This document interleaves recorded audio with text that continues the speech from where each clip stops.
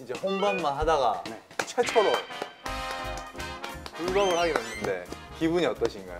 동안에 있기 때문에 오늘은 즐거운 촬영이 될 것 같습니다. 신나지 않습니까? 아 너무 신납니다. 네. 어, 오늘 방송 어떻게 돌아갈지 모르겠는데 고기에서 후추 향이 나는 게좀